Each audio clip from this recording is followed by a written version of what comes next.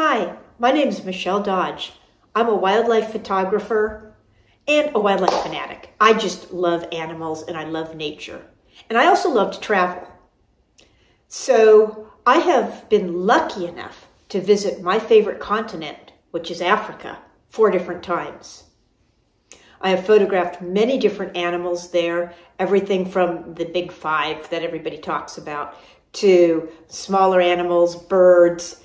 And what I would love to do is share a few of my trips with you.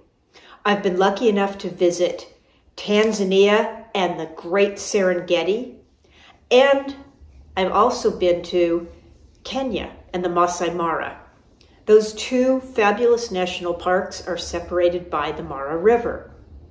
I've visited them in two different times of the year, and so what I'd love to do is take you along on a photographic journey with me through those two different countries and those two different parks and talk a little bit about the pros and cons of visiting the two different parks and the pros and cons of visiting at different times of the year. I've been lucky enough to visit Tanzania during the Great Migration, and I've visited Kenya during the rainy season, which is a low tourist time of year.